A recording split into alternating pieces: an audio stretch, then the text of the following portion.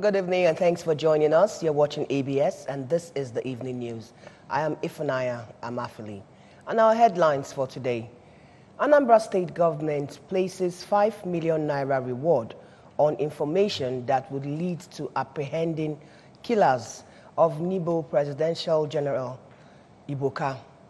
Anambra State Police Command arrest 151 persons for suspected cultism.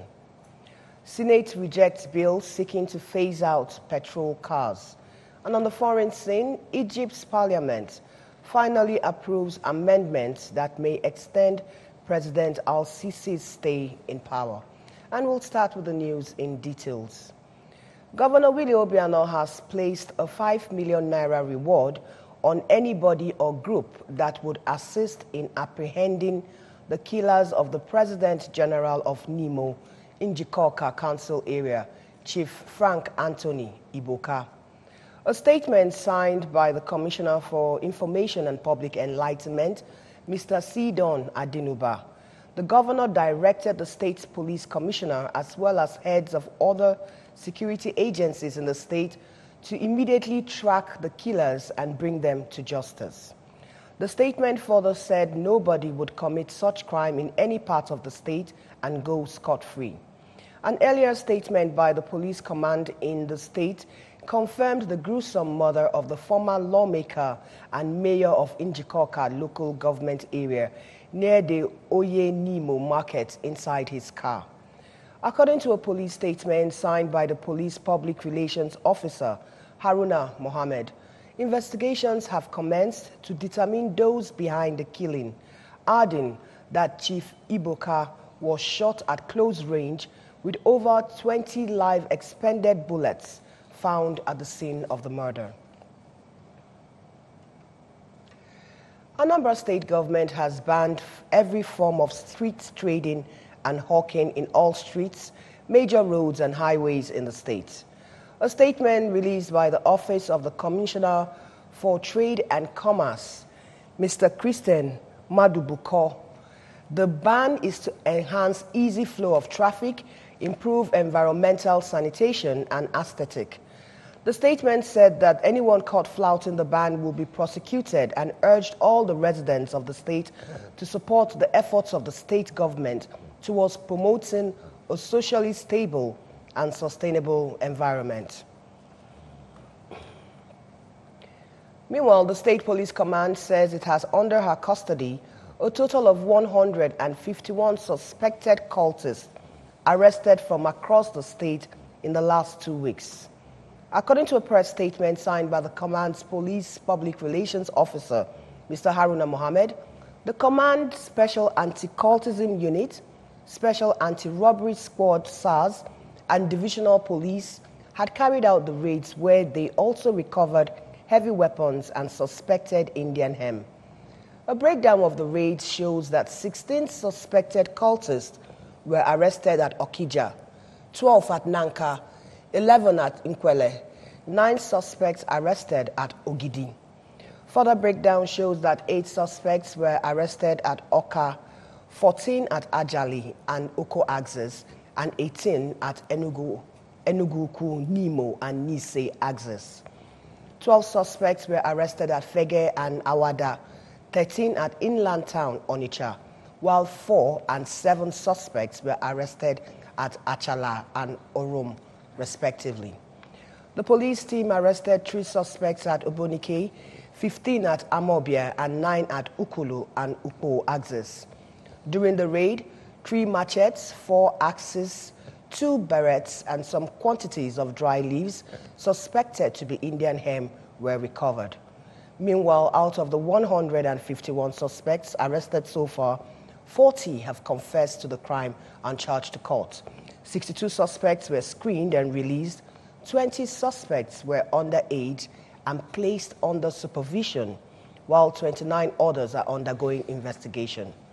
The command implores the public to report any suspicious person or movement to the nearest police station or call emergency number 070 3919 4332 for prompt response. Over 100 beggars, mentally challenged people have been removed from parts of Onitsha and Awka by the Anambra state government.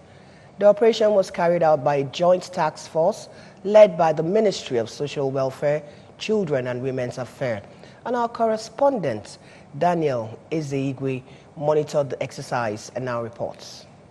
The beggars operating at Main Market, Bridgehead, Upper Iweka, and Unizik Junction, Awka, were mostly women, most of whom faked their impairments and used hired children to carry out their business, with a woman using as many as four kids. The raid, which began last year, is part of the initiative of the Anambra State government to rid the streets of the state of beggars and mentally challenged, with some of the mentally impaired persons taken to the Integer Rehabilitation Center for treatment and reconnection with their families. The Commissioner for Transport, Honorable Uchenna Okafor, who also took part in the exercise, said the present leadership of Governor Willie Obiano was keen on absolute sanity on major parts of the state and noted that those picked up would be examined to sort out the genuinely sick ones from the fakers. What they are doing here is affecting the future of the children. What we're trying to do is to secure the future of the children by making sure we take care of their parents and also send the children back to school. For the Commissioner for Social Welfare, Children and Women Affairs, Lady Ndidi Mezue, whose ministry is spearheading the activity, the apprehended beggars who are not from Anambra State will be officially repatriated to their home states, while sustained efforts are on ground to ensure that those picked up will not go back to the streets. The most annoying part of the whole thing is that half of them are from the states. We want to take them back to their home states through the Ministry of Women Affairs of the various states. So that is exactly what we're doing. The commissioner also provided a wheelchair for one of the child beggars who is walking impaired in Awka, Daniel Ezeigwe, ABS News. The Anambra state government has arrested another three persons over illegal ticket sales, tax and levy collections. The alleged illegal tax collectors who aged between 45 and 50 operate within the Ekwulobia market access. Our correspondent Emmanuel Okonkwo tells us more.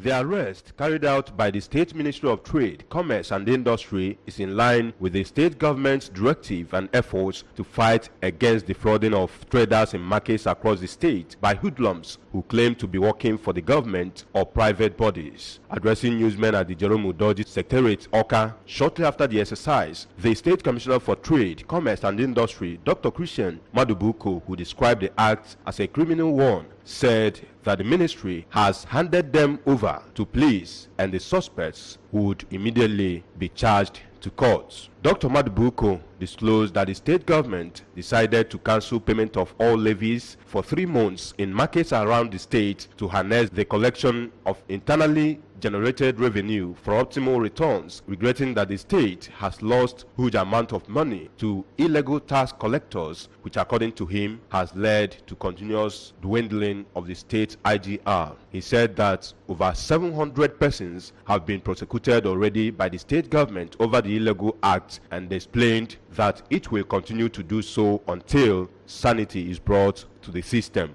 They accustom the traders and they extort money from them. And when you ask them, they will begin to uh, uh, to bring out uh, all kinds of authority letters. So these letters were not authorized by the state government. So these are the things we are fighting to stop.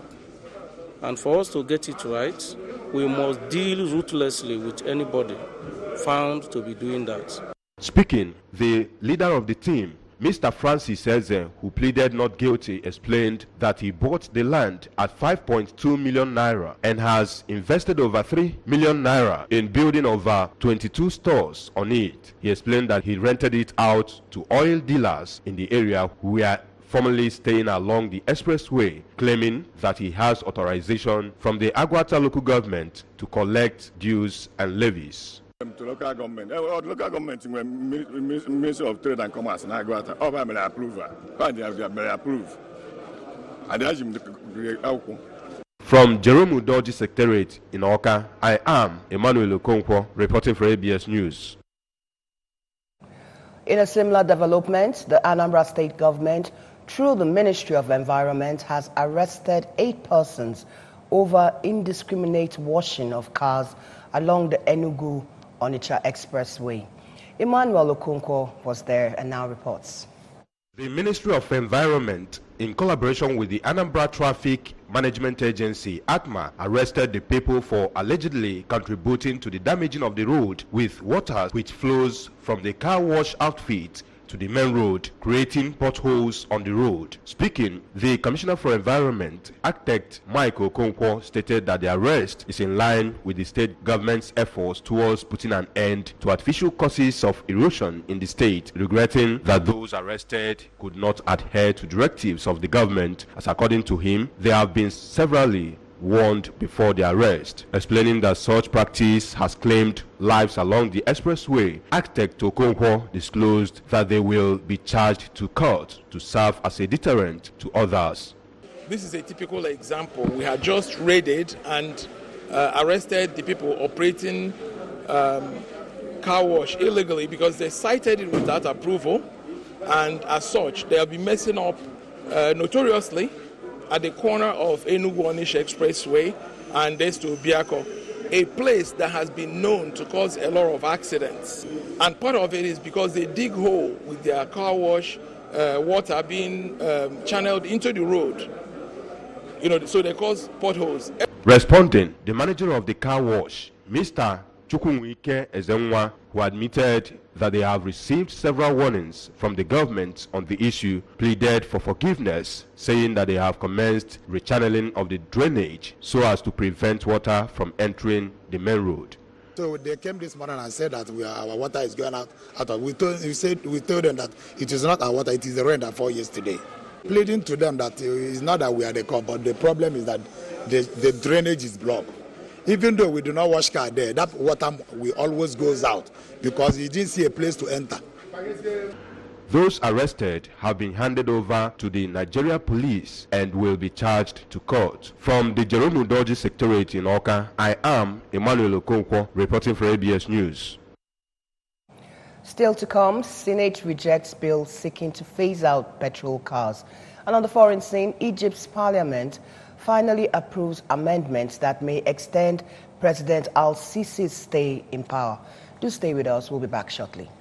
History shows Diamond shared the dream to build more than just a bank, bringing the online revolution to Nigeria and becoming part of the networked society, helping to lift the country and continent out of recession to enrich its people too.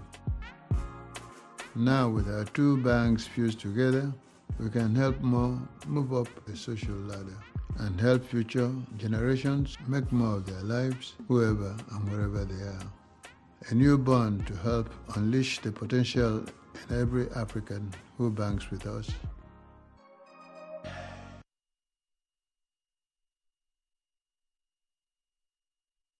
Welcome back and thanks for staying with us.